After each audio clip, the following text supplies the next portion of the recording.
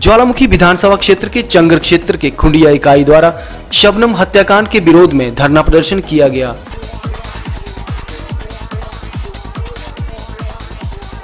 अखिल भारतीय विद्यार्थी परिषद ने मांग की है कि अगर इस मामले को पुलिस प्रशासन द्वारा जल्द से जल्द ना सुलझाया गया तो विद्यार्थी परिषद उग्र प्रदर्शन करेगी। परिषद ने कार्यकारिणी पर सवाल उठाते हुए कहा कि पुलिस द्वारा मामले को आत्महत्या बताया जाना बहुत ही निंदनीय है। जबकि शव मिलने के बाद ही पूरे बाज़ार में अटकलें लगाई गई कि ये एक हत्या का मामला है।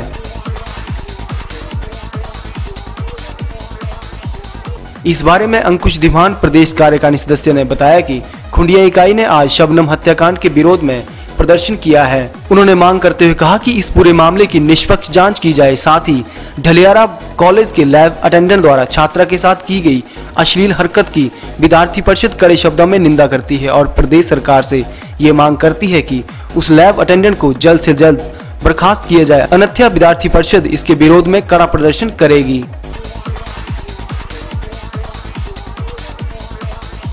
कांग्रेस के मंडी संसदीय क्षेत्र के प्रभारी संजय दत्त ने कहा कि प्रधानमंत्री मोदी अपनी पाँच साल की उपलब्धियों की चर्चा नहीं कर पा रहे हैं, जबकि सरकार की पाँच साल की कारगुजारियों पर ही जनता वोट देती है।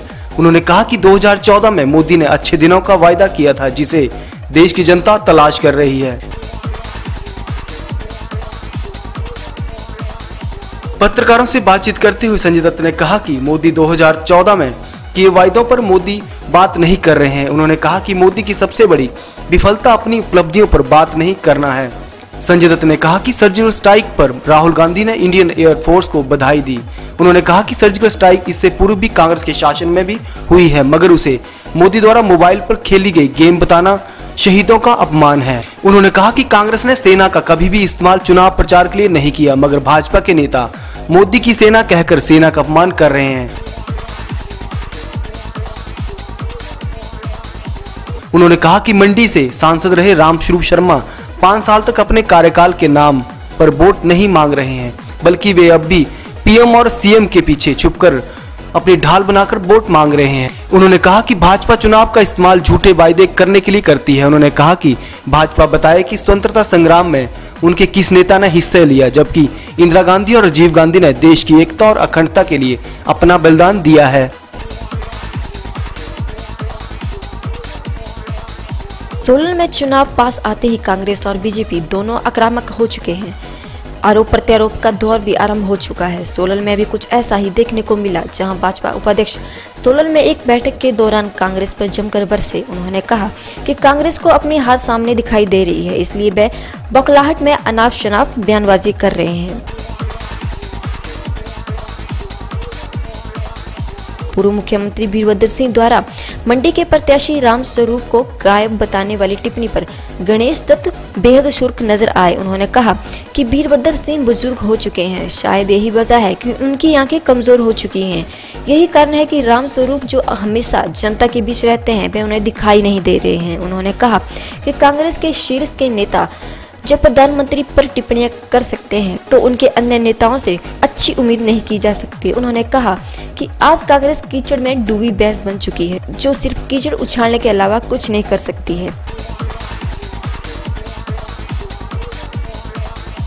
पूर्व मुख्यमंत्री वीरभद्र सिंह द्वारा मंडी के प्रत्याशी राम स्वरूप को गायब बताने वाली टिप्पणी पर गणेश दत्त बेहद शुल्क नज़र आए। उन्होंने कहा कि वीरभद्र सिंह बुज़ुर्ग हो चुके हैं। शायद यही वजह है कि उनकी आँखें कमज़ोर हो चुकी हैं।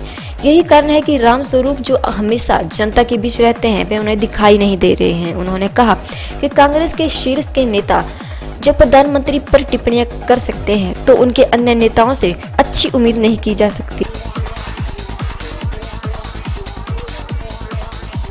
भाजपा उपाध्यक्ष गणेश दत्त ने बताया कि नरेंद्र मोदी की रैली को सफल बनाने के लिए रणनीति तैयार की गई, जिसके तहत कानून व्यवस्था, रैली की संख्या और यातायात व्यवस्था कैसे दुरुस्त हो, इसको लेकर चर्चा की गई। उन्होंने बताया कि आज सभी कार्यकर्ता अपने प्रिय प्रधानमंत्री नरेंद्र मोदी को सुनना चाहते हैं, इसलिए यह अनुमान लगाया जा रहा है कि इस बार सोलन में करीबन एक लाख कार्यकर्ता जुटेंगे और यह एक विशाल रैली होगी। उन्होंने कहा कि उनका नारा है कि इस बार भाजपा 400 पार और हिमाचल में चार की चार इस लक्ष्य को वे पाने के लिए अग्रसर है और जिसे वे हर हालात में हासिल करके रहेंगे।